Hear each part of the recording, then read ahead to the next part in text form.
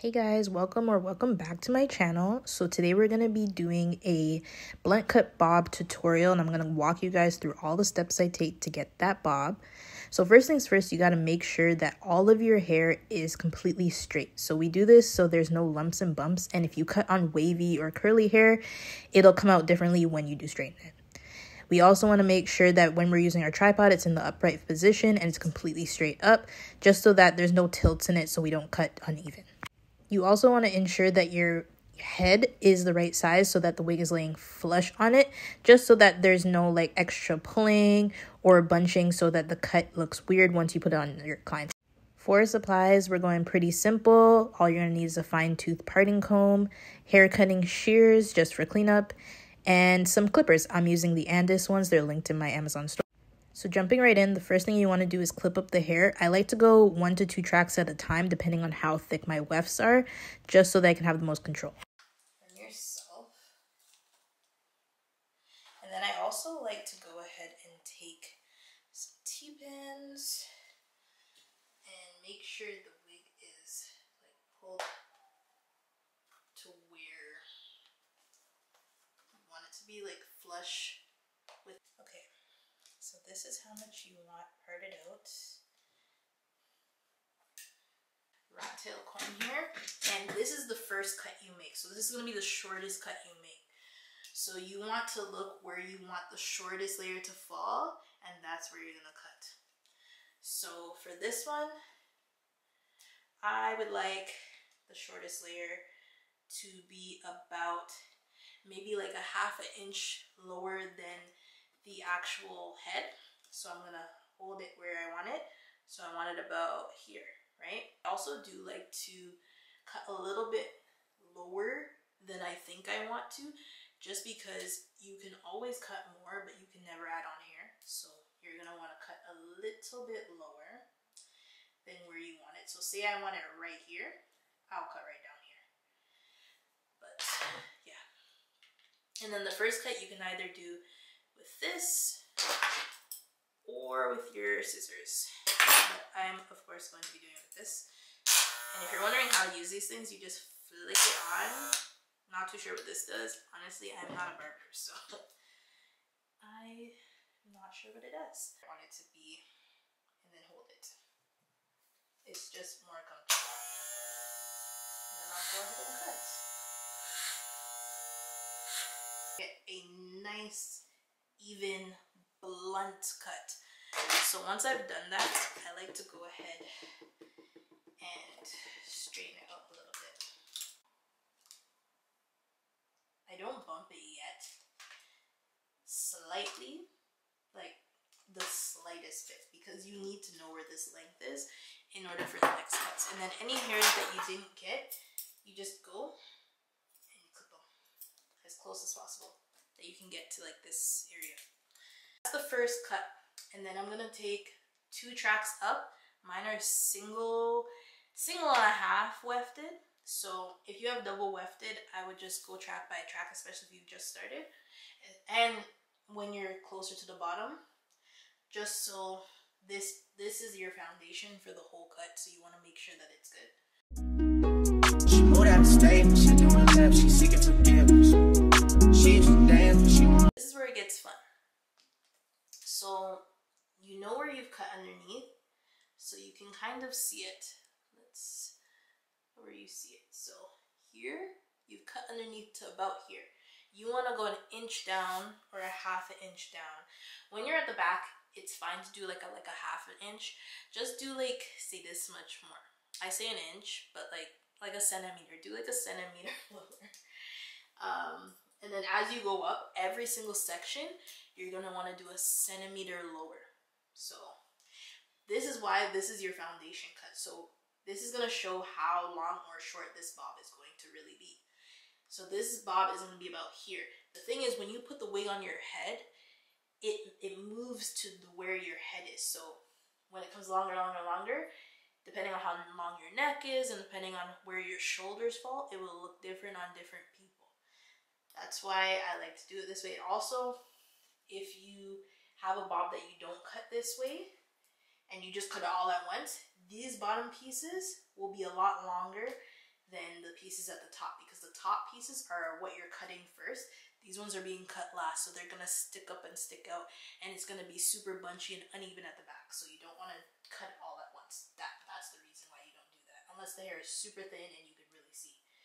So this is about where that hair falls. So right here is where most of my hair is that I cut. So I'm gonna go in in smaller sections too this time.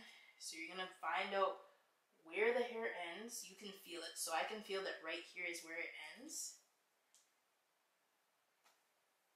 And then you're gonna comb out the piece that you wanna cut. And you're gonna grab your handy dandy clippers. So I like to go to where it ends and then have my fingers there and cut right there. Just so that I can see. There. So you've cut it. So now you can see where you want to cut it. And then you can either follow this line or do the same thing all around.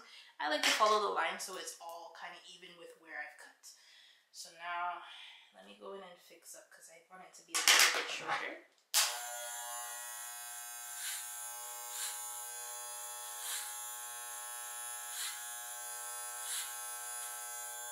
Oh.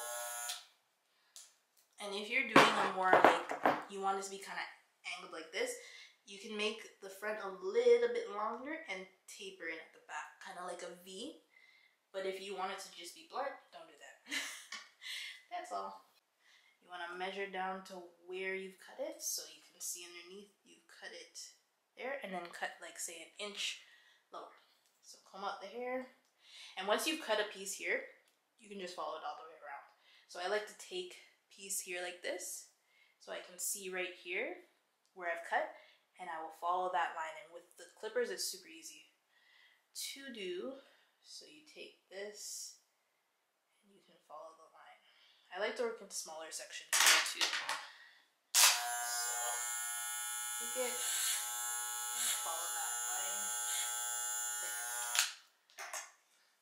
and then in between I'll like comb it out and make sure everything's looking you know how I want it to look. And see where that one, the last one was. And then you cut. And make sure the hair is all going straight down. If it's bunched up, of course it's going to mess up your cut. So make sure it's going straight down. And then I will go back in and take it all and straighten it all and make sure everything is super nice and lined up.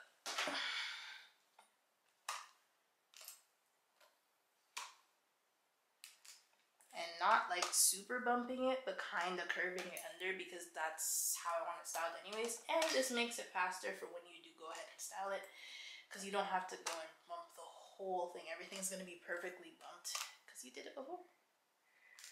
You did it before. So we can see where it's been cut before. We want to make sure everything is lined up. So we're going to go up to where it's been cut. So that's about here. So cut a little bit below. So it's cut here. I'm gonna cut right here.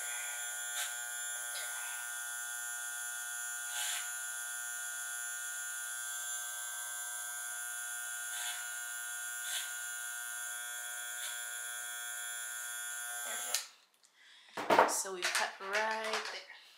So now we can see right here is cut and it's looking great. And then you can just go ahead and follow this line all the way around.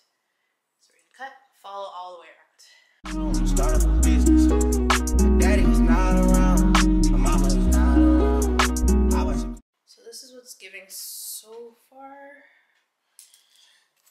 Can see it's not okay. Let let me show you all this when you comb it sideways like this, you can see if there's any uneven parts. So you want it to just look like it's all just coming in like that, right? And then also, I like to flick it so I can see if somebody moves, what it's gonna look like.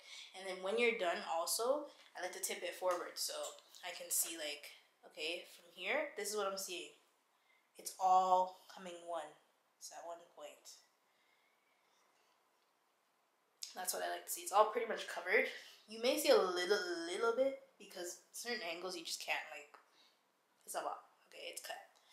But as long as it's not like okay, so you can see what I'm saying. Like if the hair is like this up here, then you have a problem. But it's fine, right? So look how nice. Looks like there's a table under it. That's wonderful. That's great. Love that. This is why I like bobs. Bobs used to really stress me out. Fun fact. They used to really stress me out.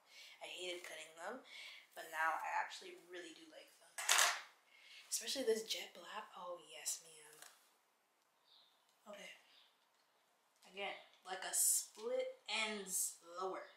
So this is where I cut the first time. This is where I'm cutting this time. Like super close.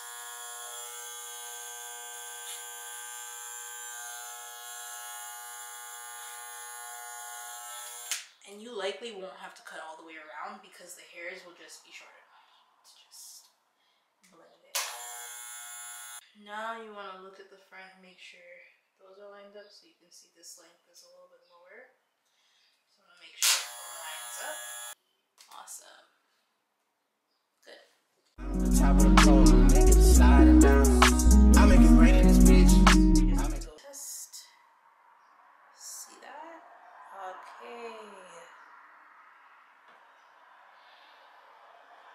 And the test I'm talking about is when you tilt it like this and it still looks like a bob.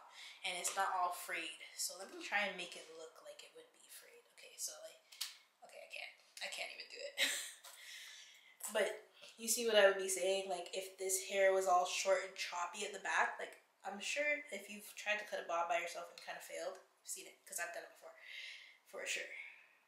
But this is our little test and that's it. So i hope you guys enjoyed this video and i hope it helped you guys learn how to cut a bob.